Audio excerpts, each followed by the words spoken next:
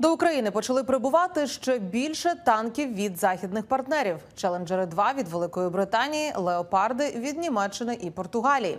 Міністр оборони України Олексій Резніков опублікував відео з середини британського танка. Напередодні він заявив, що разом із десантниками мав за честь обкатати нове поповнення в броньованих підрозділах.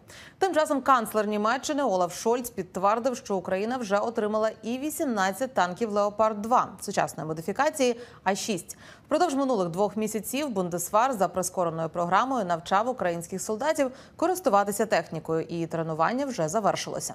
Ще три леопарди надіслала Україні Португалія.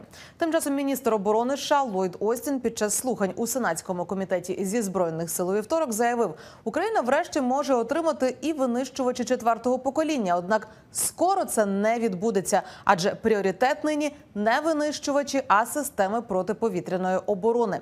Він запевнив, США і партнери роблять все, аби Україна отримала усе необхідне на полі бою.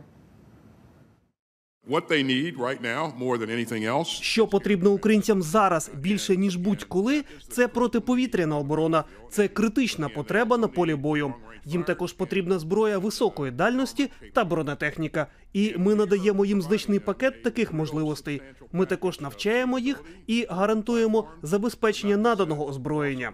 Щодо винищувачів F-16, якщо таке рішення буде прийняте, то для забезпечення цих можливостей знадобиться приблизно 18 місяців. Але це не допоможе українцям на цій стадії війни. Чи можуть отримати українці винищувачі майбутньому?